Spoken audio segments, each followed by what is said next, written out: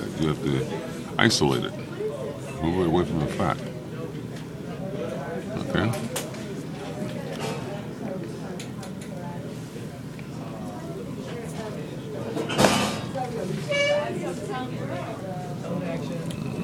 Okay.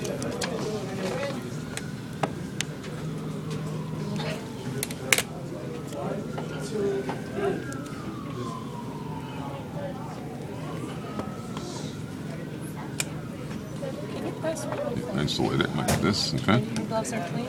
And uh, so we can see it. Do you want scissors? I do. You need scissors? No, no. use scissors. Use your probe.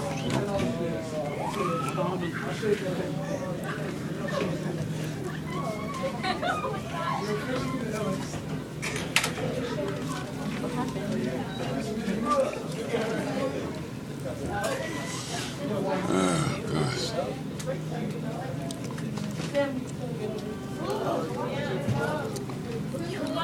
Anyway, gosh, try, try to get this thing.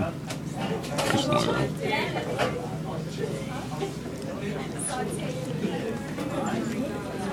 It's got some mesentery all over, around Try it. there's a hole in here. I think you can just cut it through it.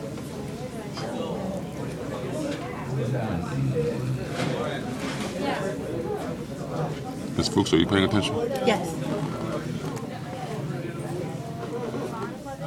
Anyway. Anyway, anyway, that would be it. That's the pancreas. Okay. Uh, class, let me have your attention. Come over here, Mr. Um, Singh. Those are done. I think this is it. in here. Yes, you can, please. Okay, uh, Q, you too.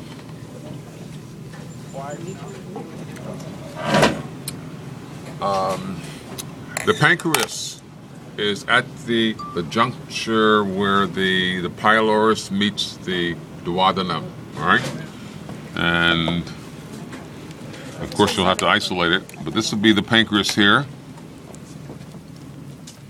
Okay, Yes, sir. Is that it? Yeah. I can't see it from here. All right, but it's it's at the end of the the stomach and the beginning of the duodenum. That's where you'll see uh, the pancreas. Okay. Also, what I want you to do is isolate the ureters from the kidney and follow it to the urinary bladder. This is the urinary bladder. Okay. This is a male cat, right? Yes. Okay, so yeah, you have testes there. So, all right. Um, okay. This is the the small intestine here. The large intestine is here.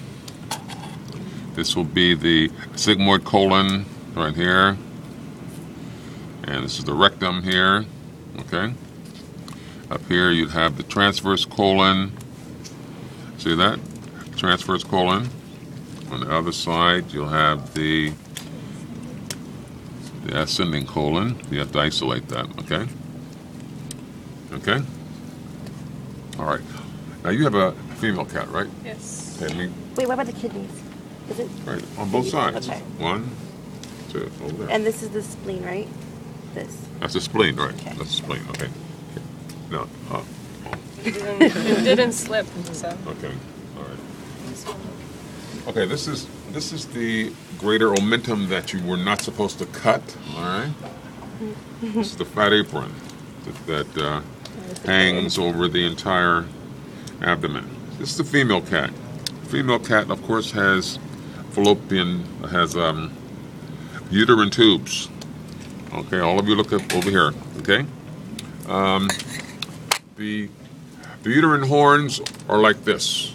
Again, you have a Y. Okay, and uh, the um, the Y, of course, meets a base, which is the vagina. Now, at the top of the Y here, you have the ovaries. Ovaries are the bean-shaped structures. Above the ovaries, you'll have the fallopian tube. This is the fallopian tube.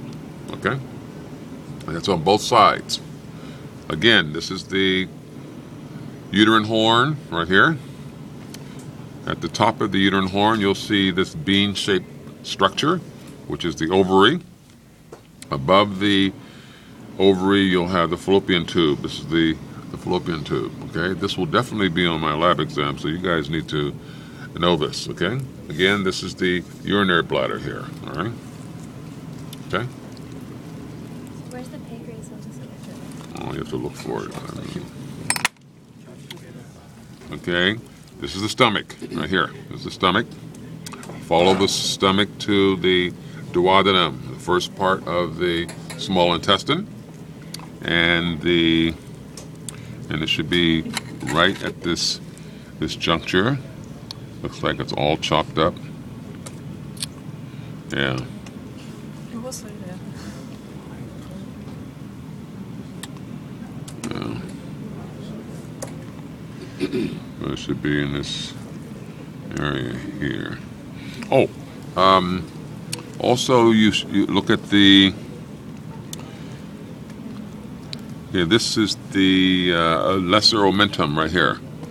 It extends from the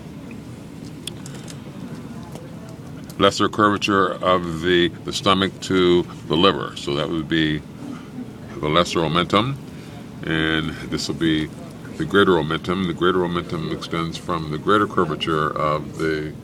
Sam, what are you doing? No.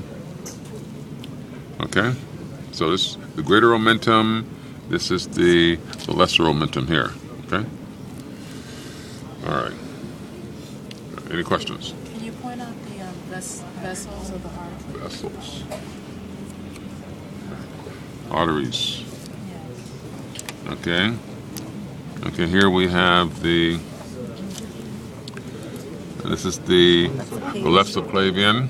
This is the aortic arch. Aortic arch has three extensions. This is the left common carotid. In the middle is the right common carotid, and one on the right is the brachiocephalic. Okay.